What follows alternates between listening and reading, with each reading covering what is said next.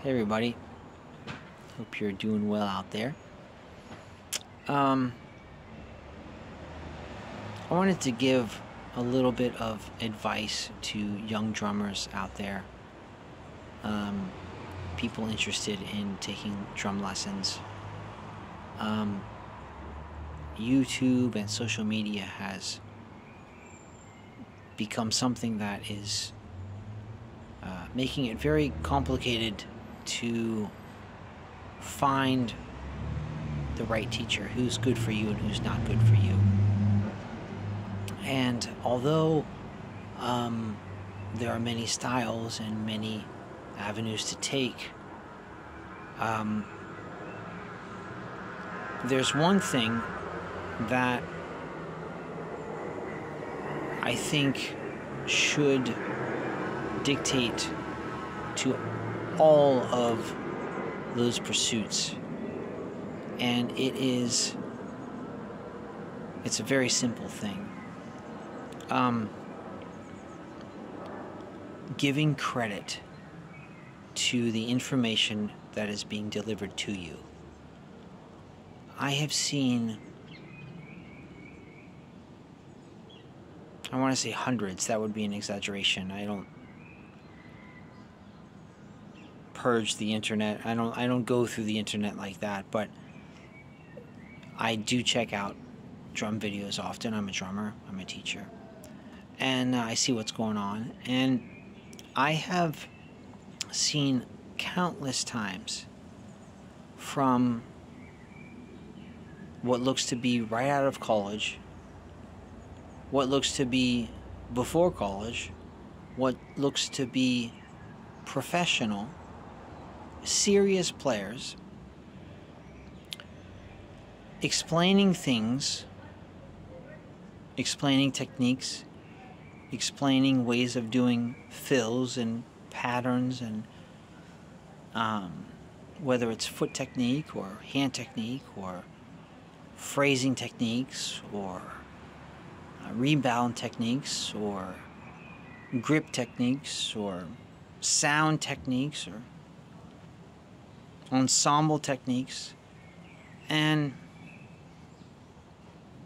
I've noticed it, it kind of occurred to me something that I see a lot going on that I never do in my lessons. And that the teachers, bless them, that I had never did that with me. Whenever they told me something, they always gave credit to where the information came from. It was a kind of proof of the legitimacy of the lesson. And at the same time, excuse me, at the same time, it was history and it was respect for the craft.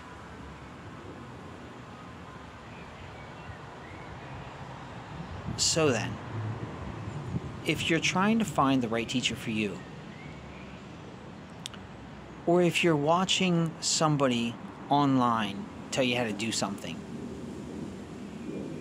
pay very close attention to what they're saying. Because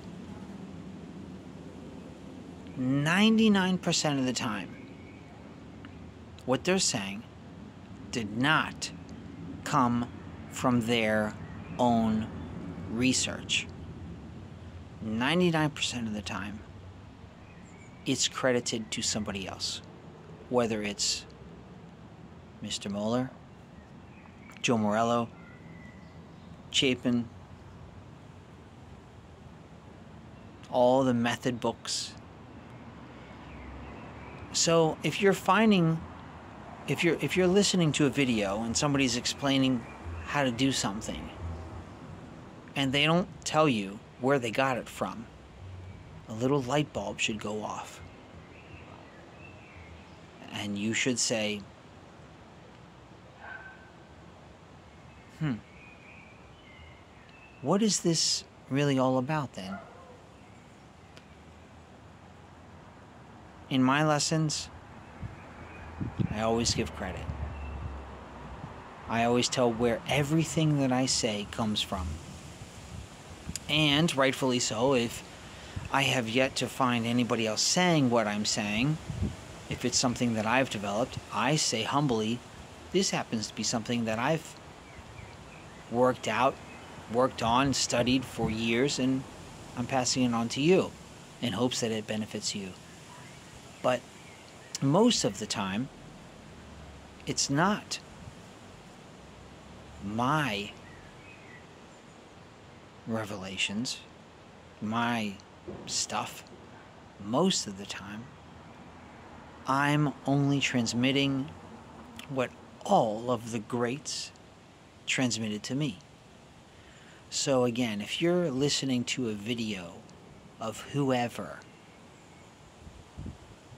forget the name, and you, and as they're talking to you, they never mention where they got that from. You should be very suspicious of what their intentions are. So, in other words, get a teacher who respects the craft and explains to you every step of the way where this method came from. If not, they are essentially stealing those methods from the entire drumming community, pretending that they are something that they're not. And you can see this on, from, like I said, college kids to even amazing, amazingly great drummers out there. And it is dumbfounding to see amazingly great drummers out there not giving credit to where they got their material from. So, again, if you're taking lessons from somebody and they never tell you where they got their information from, go find somebody else. Their intentions are not in the right place. And incidentally, you're not learning any of the history of the craft, of the art of drumming with those lessons. Best to you. Ciao.